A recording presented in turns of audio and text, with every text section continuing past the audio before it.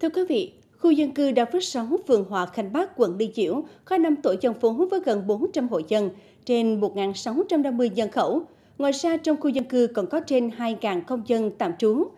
Đất chật, người trong đã nảy sinh nhiều vấn đề bức xúc trong cuộc sống hàng ngày.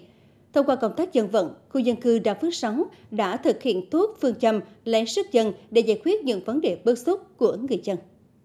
Khu dân cư Đa Phước 6, phường Hòa Khánh Bắc, quận Liên Chiểu vừa được đưa vào sử dụng đầu năm 2021 với tổng kinh phí trên 120 triệu đồng.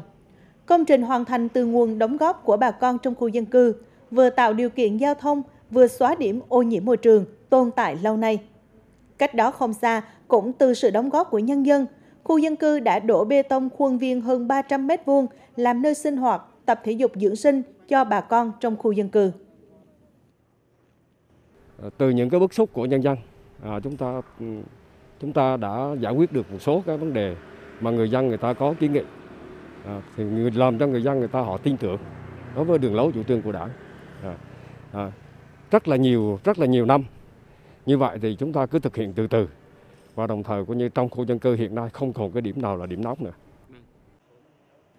Bí thư chi bộ Phạm Minh Đồng chia sẻ, 5 năm về trước, các phong trào của khu dân cư không có gì nổi trội, từ khi chi bộ đặt vấn đề quan tâm giải quyết những bức xúc của người dân thông qua công tác dân vận đã tạo sự tin tưởng và đồng lòng của nhân dân. Mọi phong trào đưa ra đều được bà con hưởng ứng rất tích cực.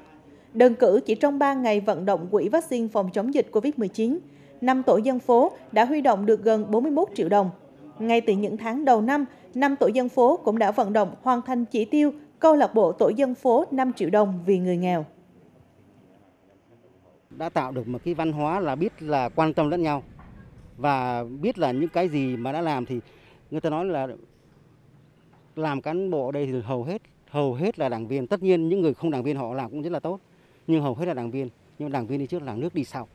Thì lúc đó mới tạo được cái lòng tin, mới ờ, thuyết phục được nhân dân. Nó tạo được từ cái nền tảng như vậy.